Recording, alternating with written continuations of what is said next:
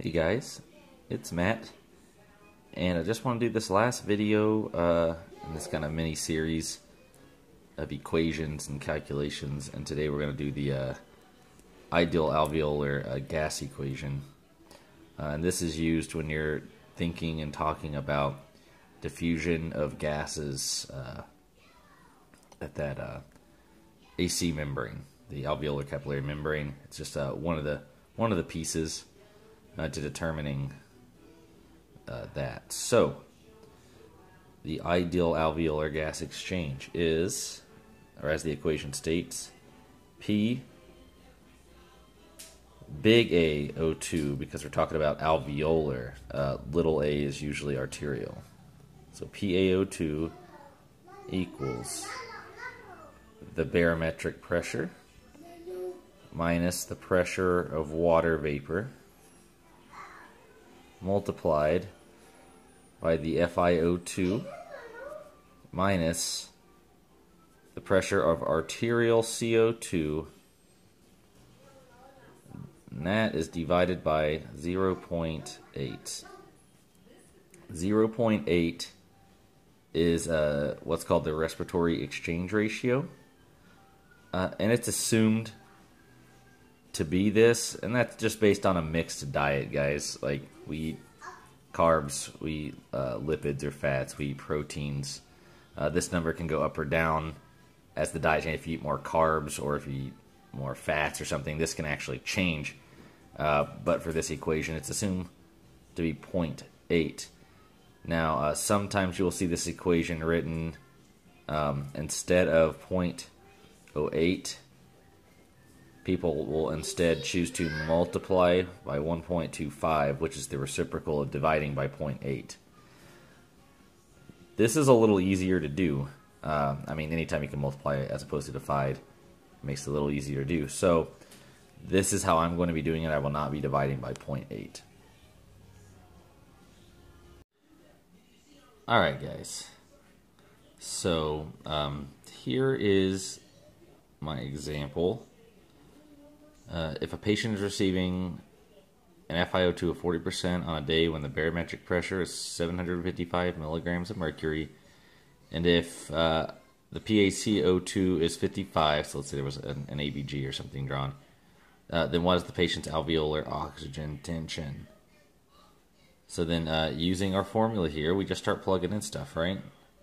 PaO2 is equal to, so PB is going to be 755 minus. Now, we didn't reference the pressure of water vapor, which is the, uh, it's like the, the vapor that the air picks up as it travels through your upper and uh, airways, down your trachea, through the uh, bronchioles, down basically to the alveolus. So uh, the pressure of water vapor in this equation is always 47.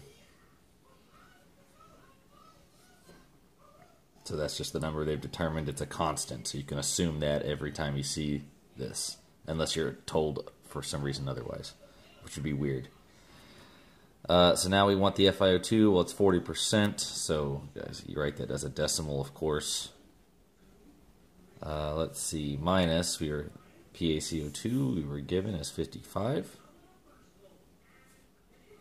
And we're going to multiply that by 1.25. Now again, guys, this is straightforward mathematics right here, right? What's our order of operation? Uh, let's see. Uh, please excuse my dear Aunt Sally. Right, guys? We all remember that from grade school. Parentheses, exponents, multiplication, division, addition, subtraction. Uh, that can be applied here. Uh, so as we work down, so parentheses, Let's see, we'll have 708. We can leave that point. 40 minus 55 times 1.25.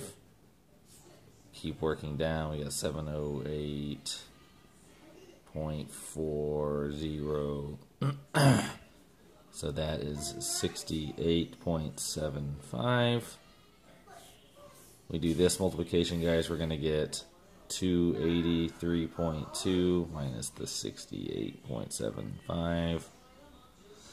Finally, guys, you do this uh, this subtraction here. You're going to get 21445. Now, make sure you're comfortable doing multiplication, division, subtraction, guys. Uh, you're generally not a lot of calculator. Uh, but in this case, guys, our PA 02 is 214.45. Now, I mentioned this, I think, in that first video I did on my little outro that uh, there are times when a simplified equation can be used. Basically, you can drop the coefficient regardless of how you're doing it, the 0.08 or the 1.25. Uh, and that is when the PaCO2 is less than 60 millimeters of mercury and the FiO2 is greater than 60%.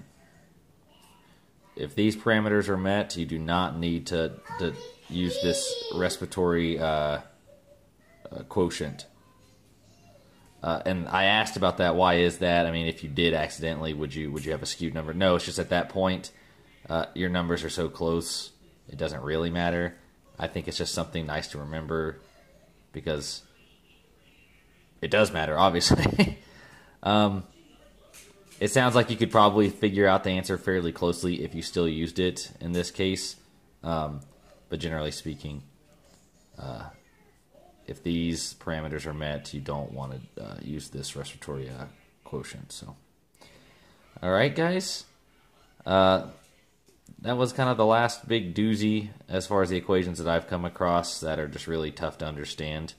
So, um, as always, guys, uh, thanks for the feedback on the other two videos and the comments. I'm glad it looks like they're helping some people. Hopefully, not confusing anyone. Again, guys, if you're not taught the way that I'm taught, do it the way you're taught because that's the way your instructor is going to expect to see you answering the questions.